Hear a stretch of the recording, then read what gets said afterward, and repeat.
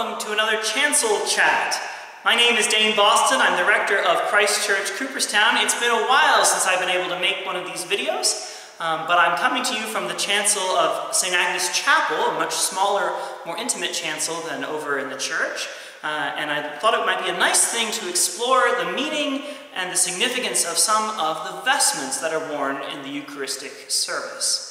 As some of you who have watched our Sunday service videos know, we are in the process of renewing our vestments here at Christ Church, replacing some that really need to be replaced, um, and sort of acquiring some substitute sets for others that we can have a, a, greater abundance of vestments to use and therefore take the pressure off of some that get used very frequently. And I, I, thought it might be helpful to talk through some of the uh, vestments that are worn on a typical weekly basis, daily basis, when the Eucharist is celebrated. Now, in our ordinary services, I'm, I'm officiating at the daily office of morning and sometimes evening prayer. And the vesture for that is distinct from what we have in the Eucharist, but we'll, we'll see how there are some connections and, uh, and, and points of similarity. I also should note that the use of Eucharistic vestments was basically unknown in the Anglican Communion, the Episcopal Church, uh, from which we uh, have our uh, background and, and, basis, from the time of the Reformation until the middle of the 19th century. Um, and even after that point, Eucharistic vestments, the full array of Eucharistic vestments that you'll see today, were really a sign of high churchmanship or Anglo-Catholic worship, um, and were not common in most parishes of the Episcopal Church until the middle to the second half of the 20th century. So while these vestments are themselves very ancient, and they have um, a very long heritage and pedigree in the use of the church, uh, they are in some ways still relatively new to uh, restored use in the churches of the Anglican Communion. So all vesture begins with the most basic garment that we have for priests, uh, bishops, deacons, uh, servers, acolytes, choristers, you know, most everybody who serves in church um, has at some time or another had occasion to wear what I'm wearing right now, which is called a cassock. It's a long ankle-length coat, more or less. In the Anglican tradition, it's typically double-breasted, but it doesn't have to be. You can have one long row of buttons down the, down the front. Um, I like just having nice four buttons, two at the shoulders and two at the middle, um, and the Anglican double-breasted cassock. And this is a common uh, item of dress. It does not indicate ordination, because plenty of acolytes wear it, plenty of choristers wear it. So on, on, top of this basic everyday garment that historically could have been worn in the streets, and I've even been known once or twice to wear my cassock um, out and about in Cooperstown, it always attracts some attention, um, but having the, the Eastern Orthodox Jordanville Monastery not too far up the road, it doesn't attract as much attention as you might think in this village, because we've seen other people in cassocks out and about before. So on top of this ordinary dress, uh, there is almost always, in every form of vesture that you come across, uh, first, some white garments that are placed? Some clean, bright, white garments. On the one hand, those have great historical, biblical significance. We, we remember the sort of garments that are worn by the priests of the temple in Jerusalem, uh, the priests of the Jewish tradition in the Old Testament, and we think of the, the white garments described in the book of Revelation, of the saints um, that have come through the tribulation and have washed their garments uh, in the blood of the Lamb, making them white. We also think of the tradition of the church in placing a white uh, garment on those who are newly baptized. Um, that's a very old tradition uh, that, that is in some ways retained for us in our practice of baptizing infants when little children come for baptism in a long white gown. Um, historically, people were baptized naked, and then this white garment was placed on them afterwards. So we all begin with a simple white garment. Now, when I celebrate, or officiate, I should say, the daily office, that white garment is uh, called a surplice. It's large and flowing, has big, wide sleeves, and nothing around the middle. When I come to celebrate the Holy Eucharist, I go to an older uh, vestment in the surplice. Um, we, we have what's called the alb. But before I put on the alb, I'm going to have one garment that takes care of protecting all the others that will go underneath it. And that's called an amice. It's this either rectangular or sometimes square piece of cloth that I will put on like thus. It's, uh, I get some pretty good looks of this when people wander through the sacristy before or after services. They think I'm, you know, play acting at a nun or something, but um, this is an amice.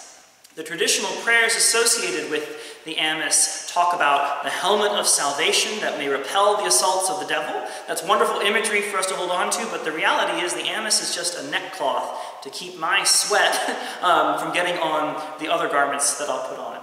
So after the amice is on, then comes the alb. Now the alb gets its name from the Latin word albus, which just means white. So it's a long white garment that will cover the whole of my cassock. So now I have on the basic undergarments uh, for the vestments, the first layer of vestments. Now you can see here how similar the alb looks to a surplice. The sleeves are closer, but the body is nice and loose, and we can see the connection between the two. The alb was the uh, more historic garment dating back to the Roman Empire. And in the churches of Northern Europe, when uh, monks and priests were going into the church on a regular basis, into an unheated church, to say offices at all times of the day and night, they would always throw on an alb on top of their bulky uh, uh, surplice, uh, excuse me, of their bulky cassock. And their cassocks were bulky because they were fur-lined. They had to keep warm in that. So over time, the surplice developed as an easier alternative to the alb, with looser sleeves and easier to pull over your head. It did the same function of covering the, the everyday garment in a nice, white, clean, bright garment, um, but it was easier to take on and off through all those surfaces. So, on top of the alb goes the girdle.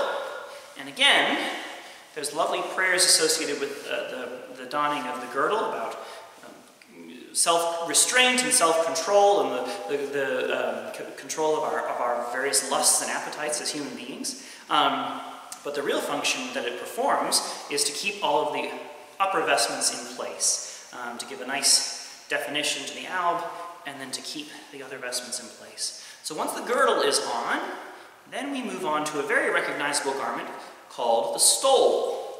Now priests, of course, wear the stole, priests and bishops wear the stole over their shoulders. Um, deacons wear the stole over their left shoulder, um, you know, fastened here under their right arm, which leaves their right arm free to help with all the work that they need to do in setting the table and other you know, diaconal duties around the church. Um, priests and deacons wear it this way. I've heard various explanations for the history of the stole. Um, some connect them to the customary uh, sort of scarf uh, or, or, garment worn by teachers in the ancient world. Um, they certainly, it certainly has a, a, very dignified drape in this way and, and uh, is immediately recognizable as a, a priestly garment. Um, again, when it's worn with choir dress, if for any reason you're not wearing your hood and tippet, the academic regalia that I wear for the offices, um, but say you're preaching at a service but not celebrating or otherwise doing anything sacramental, it's customary to just let the stole hang loose. But when priests wear it underneath the chasuble, the larger garment we'll see in a moment, it's typically crossed at the chest. Now, one garment that you don't see very much anymore in the life of the church, but that is very much a, a, an important and integral part of the traditional vesture of the church, is called a maniple. Now, historically, this maniple had um, a really useful function. It was a napkin. it was a towel that could be used either to presumably dab the celebrant's brow or clean up any messes um, that needed to be addressed. Um, think of a waiter in a restaurant with a towel over his or her uh, wrist in this way.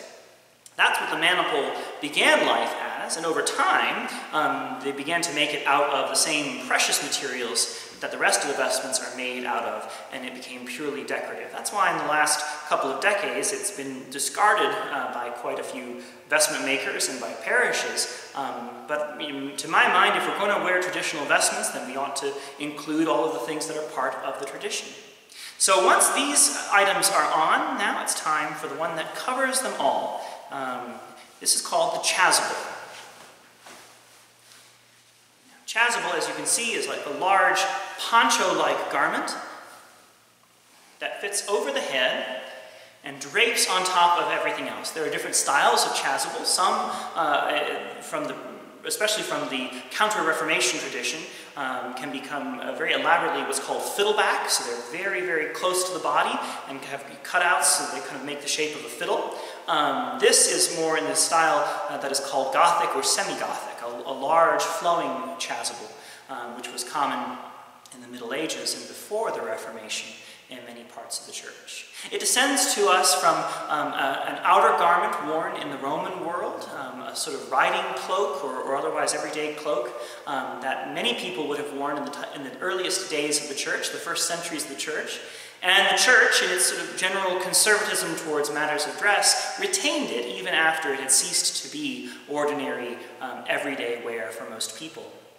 So this is uh, the, the full array of vestments typically worn for the celebration of the Holy Eucharist. There are other items that I've made reference to in the course of this little chat, um, or that you may have seen before, items like a cope, a large cape, usually richly embroidered, that is used for processions and on other festal occasions. Um, there's all kinds of different headgear, which gets us into some real, you know, that's, that's them's fighting words in, in church circles to talk about what kind of hat a priest should wear. I'm not going to worry about that today. Um, these are the basic items that you may see in a typical parish of the Episcopal Church or the Roman Catholic Church, um, in some Lutheran congregations um, and other denominations that use Eucharistic vestments. These are the, the, the, the, ordinary array of these things.